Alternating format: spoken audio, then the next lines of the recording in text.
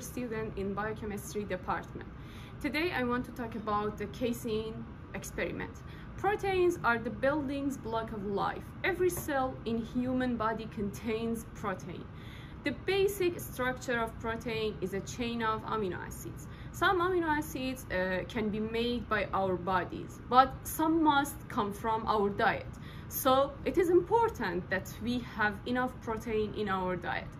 Proteins are responsible for catalyzing chemical reactions like digesting food, transporting substances across organs, uh, pathogen, clearing, uh, recognizing signaling mo molecules, and much more uh, within your body. In the human body alone, uh, there are more than 100,000 different proteins at work, all serving critical functions. A protein structure determines its function. When the folded structure of a protein is manipulated, its behavior change as well.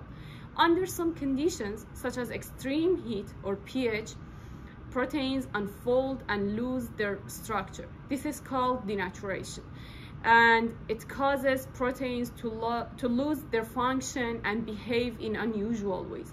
Casein is the primary protein in milk uh, in this experiment. We will see how casein denaturation affects the pro properties of milk. So let's talk a little about the background. Mammals rely primarily on milk to feed their growing young. Thus, milk must contain all of the necessary proteins, fat, carbohydrates, vitamins like B and D, and minerals like calcium to accommodate the needs of growing organisms. As you might imagine, this makes for a complex mixture of biomolecules. Humans like to manipulate milk into other dairy products, particularly cheese. In order to, to do that, some of the components of milk must be separated.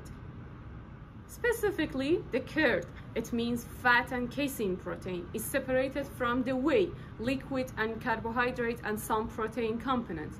This can be done by applying acid to milk. In this experiment, we will see how to make our own curds and whey using household acids. Casein is a protein that makes up approximately 80% of the total protein content of cow's milk, existing as a global globules within the milk and largely responsible for giving milk its white color. Casein precipitated uh, out of solution when heated and then exposed to acid. A simple acetic solution in the form of white distilled vinegar works well to extract casein from milk. The precipitated casein forms an elastic white material that you can remove from the liquid within milks.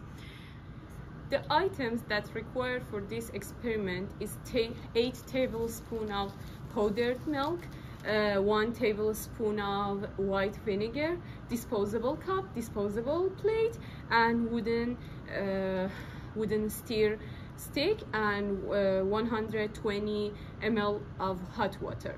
Uh, for the first step, we should pour milk powder into a cup and then add the add the hot water to the pure uh, to the powder milk very slowly and stirred it until to dissolve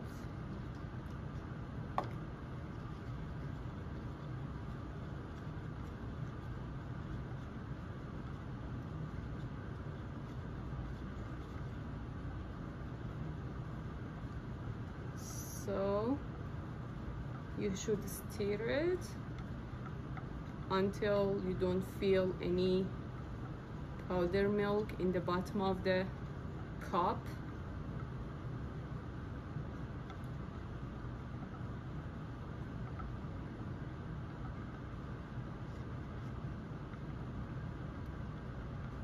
And then you should add the vinegar very slowly to the milk mixture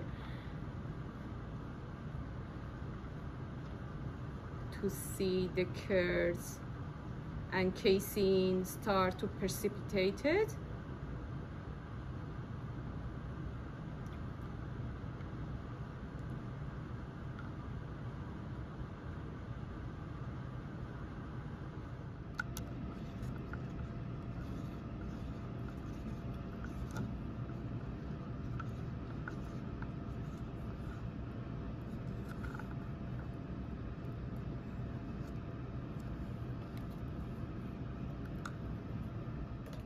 now you see precipitated casein. I press it to drain the whey and you you can see the casein.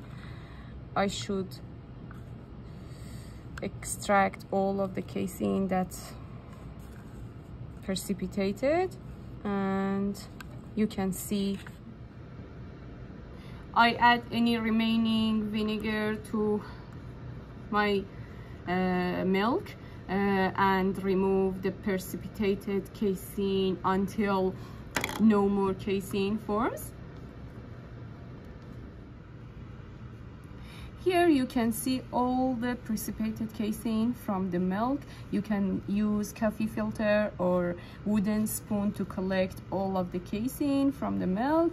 And here is the remaining liquid uh, or the whey uh, protein. I hope this experiment is helpful for you and thank you all for watching this video.